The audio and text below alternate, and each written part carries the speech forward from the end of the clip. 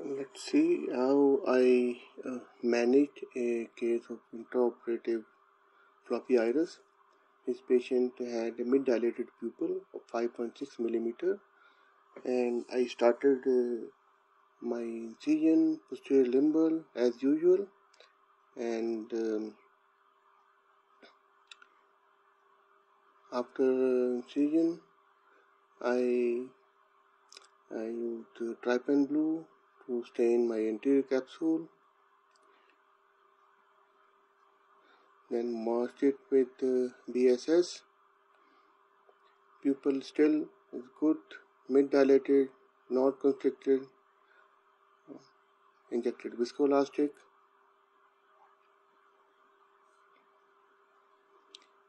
After uh, visco dilatation pupil became uh, around 6 millimeter which uh, uh, was good for me. And uh, I started my rhexis from the side port using a cystitome my aim is always to have a rhexis of more than 5 millimeter. And in this uh, particular case it was more important to have a good uh, because uh, the floppy iris uh, will uh, lead to small pupil later on. So in this case I was able to achieve a rhexis of 5.6 millimeter and I was happy about it. Uh, after doing the hydro section I tried to uh, move rotate the nucleus. Uh, it did not rotate much but uh, uh, I don't bother uh, if it is not rotating well. As I knew that I have achieved a good uh, hydrodissection.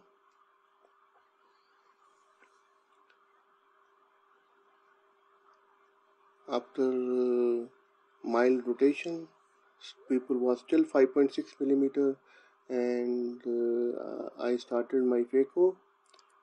Uh, I I made uh, uh the central short trench, uh, which is my usual way, and uh, after having a moderately moderately deep trench, use my second instrument to achieve a first split. Uh, as I was doing the first split, uh, pupil started to become smaller. Split was satisfactory. I had a good split, but now the pupil is very small, and I noticed that uh, it might prolapse and because of the egress of the fluid and viscoelastic coming out of the side port so uh,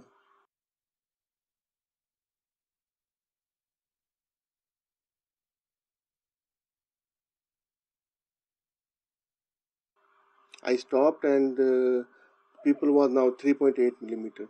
I injected uh, more viscoelastic, but pupil did not dilate much now. So at this time, uh, I decided to continue with my phaco as I already had a split and cataracts was not small. But what I modified was that I did not use second instrument much. I was only using phaco from the main wound keeping it in the center and taking the uh, nucleus uh, piecemeal.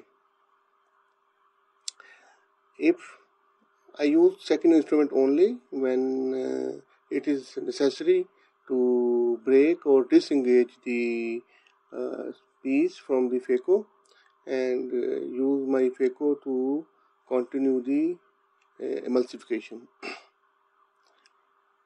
the thing is that we need to keep the uh, uh, our uh, phaco tip in the center and the bevel should be directed horizontally. And I was directing it towards the left side. I used uh, uh, my second instrument just native. When whenever it is needed and I will keep it out. Otherwise the pupil uh, the iris will prolapse and once the iris prolapse is there it's very difficult to uh, keep the eye uh, the iris uh, inside and becomes very difficult. Then definitely we need to use iris hooks So keeping my phaco in the center, directing my bevel horizontally towards the left side and uh, keeping my phaco slow uh, so, and at lower powers so I don't uh, take the iris. Now at this point I change my uh, settings to epinucleus with uh, only 5% power and uh, so my aim was that if the pupil will come to the phaco, it should not be damaged by the phaco power. And uh, occasionally I use my checking instrument to keep the iris margin away from the phaco.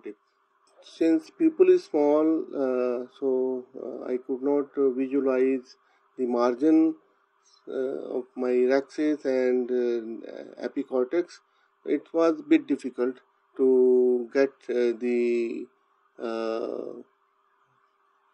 epinucleus removed with the phaco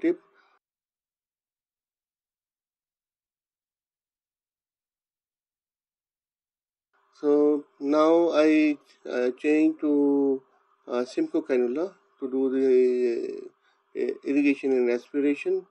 Since my rhexis is uh, uh, 5.6 millimeter, so I could go blindly under the iris and pick the cortex uh, without visualization but it's of course it's a bit difficult and uh, it took some time it is uh, always uh, a good idea to push the iris away a little bit and then see if there is any uh, cortex and behind the in the bag stuck there. As I as you see here I was trying to remove looks that it is done completely but once I pushed my iris there was some cortical material in the bag which was removed once I was satisfied with the removal of the cortex uh, then I injected the viscoelastic in the bag and implanted uh, single piece monofocal lens and uh, centered it with uh, the second instrument. Then I take uh, my time to remove the viscoelastic from the anterior chamber as well as uh, from behind the lens. It is important to remove viscoelastic because with the small pupil and uh, uh, sometimes it is not easy to do it but then the patient will have high intraocular pressure in, in the post-operative period once I was satisfied, uh, then I uh, formed my formed the AC with uh, BSS and do the stromal hydration for all my side ports as well as the main wound. So the thing is that um, uh, the it uh, depends on your expertise of managing the cataract through a small pupil.